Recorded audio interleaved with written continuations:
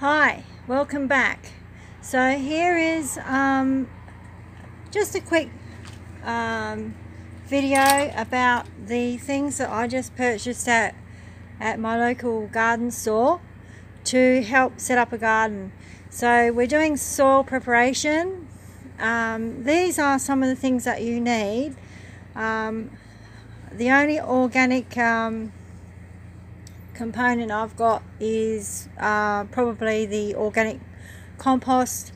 Um, you could make your own um, by throwing in the food scraps and if you have any um, uh, manures you can get hold of, um, put those in.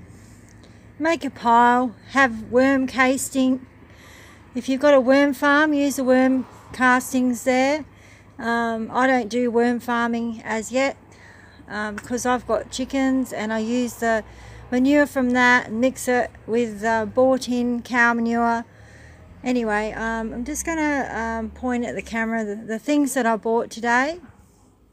So you can see and explain each one. Alright I'm just going to turn the camera around so I don't know how to do alright here we go. So first of all we've got the garden uh, lime um, so that uh, corrects your soil acidity uh, and raises the soil pH. Um, it's very good uh, if if you're going to um, go and plant some broad beans or some uh, peas or beans. They uh, like a bit of lime put in the soil before you plant the seeds.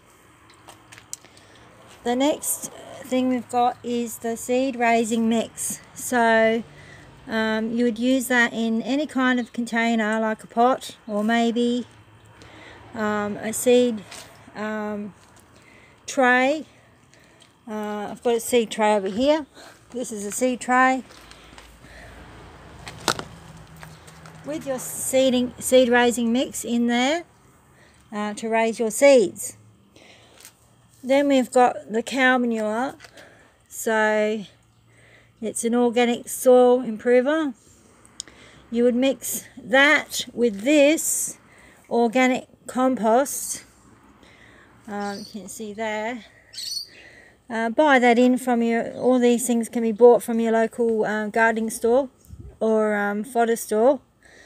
And then some, um, this straw can be used for composting and also for um, the chicken pen. Sometimes after it's been in the chicken pen, uh, turn the camera around, I use the straw to put in the nests uh, of the chicken pen.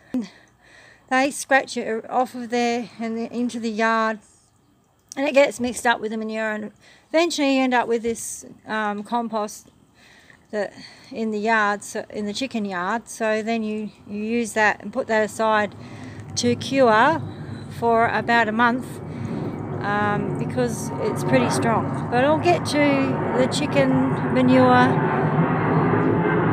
There goes a plane. Sorry. There's a plane going over. Sorry.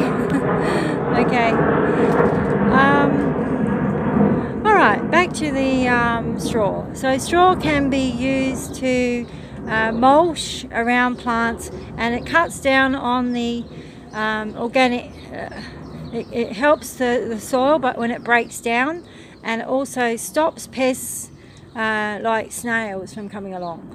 Alright, that's all for now. Bye.